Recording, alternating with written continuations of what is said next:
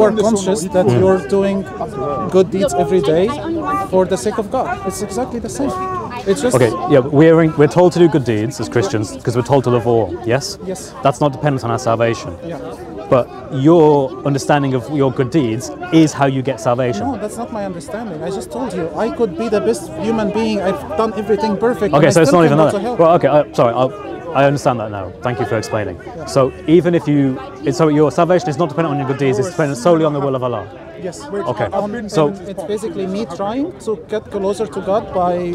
but you have no idea if you've achieved that. I, I have no idea. That's why I would know in the day. But why, judgment. why would you follow a God that you could do everything you think is right? You could pray the five prayers a day.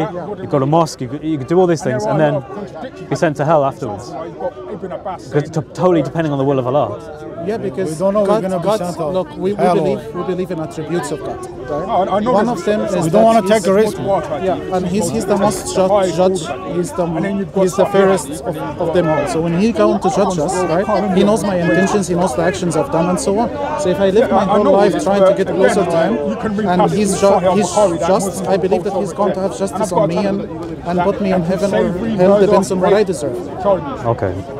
But I don't know, man. I, I'd find that really shaky ground. Because There's- the problem is Yeah. with salvation, and I'm sorry to mention this, where would someone like uh, Hitler go? oh, sorry. Where would someone like Hitler go? Like he, he did all these terrible things and then died. Well, this is the thing. Could he have done all those things and still maintained his uh, status as a disciple of Christ? So No. you're saying that, that Hitler, if he said I'm Christian but did all of these things, you would say he's not Christian?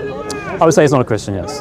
Now, you have to be careful here because Hitler, in his book Table Talk, which is the secretary writing notes of what Hitler said in his uh, dinner parties, basically, he said he actually valued the, in his words, uh, the Mohammedan religion more so than Christianity. he actually hated the Jews the most and then followed by the Muslims. No, he, th- he thinks the Muslims are higher.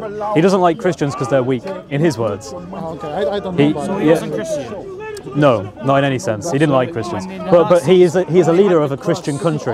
So is that not? Yeah, no, Germany was a Christian country at the time, so the troops would have wore Christian symbols, right? But he himself, as the leader of the state, was not a Christian. He had, he didn't like Christianity. He was open about it. Well, privately, he was open about it, and he valued the Islamic religion more because he saw that as a more masculine religion that was closer to what Germanic values would have had at the time.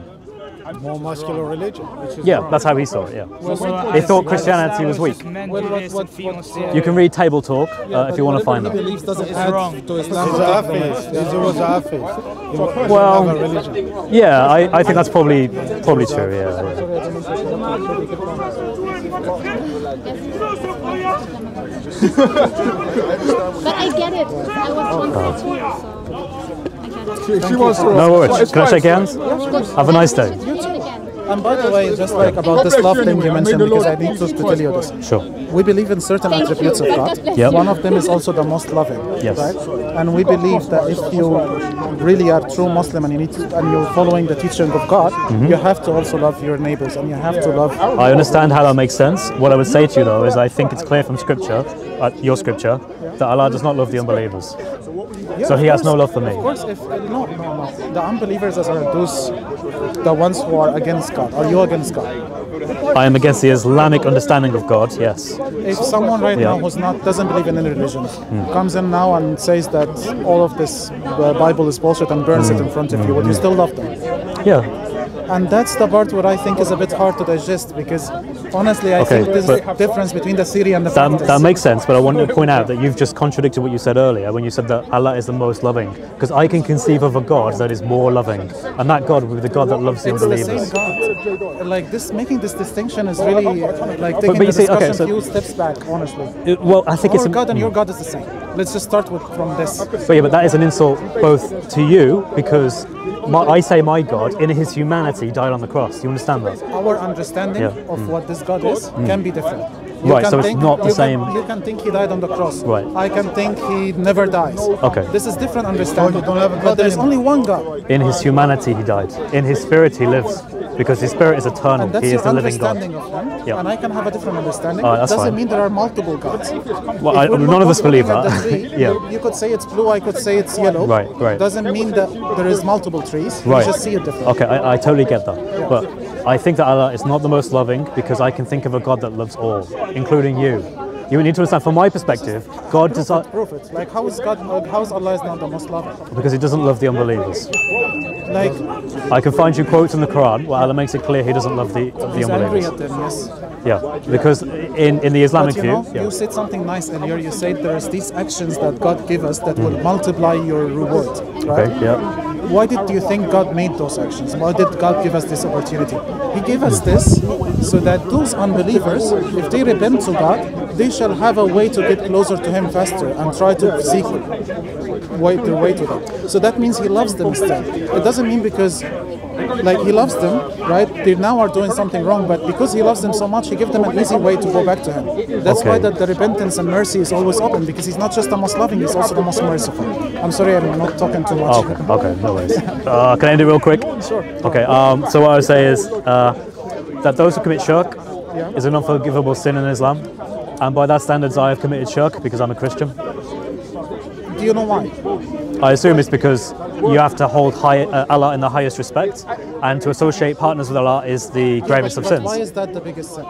Because it's a, an affront to Allah, and it's a direct affront Allah, to Allah. Do you think that's the only reason? Well, it's what I would imagine, but unless So you can tell the reason why this is above the all other sins, right? like it's it's even more severe than killing another person, is that when you associate partners to God, you have multiple sources of truth, and if you have multiple sources of truth, you don't have objective morality.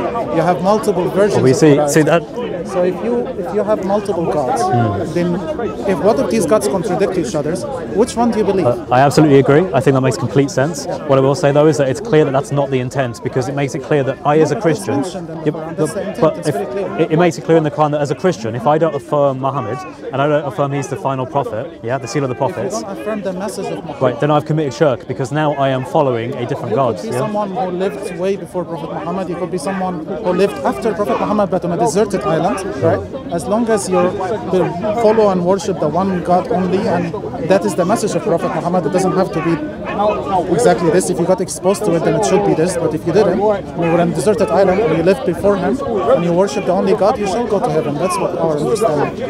Okay, okay. I'll tell you what. Let's should we leave it at that? Because I think you're. Do you want to leave it at that? Are you guys Sure, sure. I'm go sorry. I don't wanna. I know that you're filming, and I don't wanna interrupt your filming. So have a All right, good. Have a good day. Take care.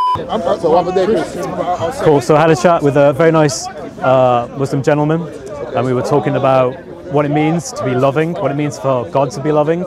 He said that he thinks that Allah is the most loving because it's one of his attributes. I pointed out that according to the Quran, Allah does not love the unbelievers. And because of that, I can conceive of a God that is greater in love, and that God is Jesus Christ. God, of the Christian God, fully oh. affirms the perfection of love, agape, the greatest love. Whereas the Islamic God does not affirm that because the Islamic God doesn't love unbelievers. It is simple as that.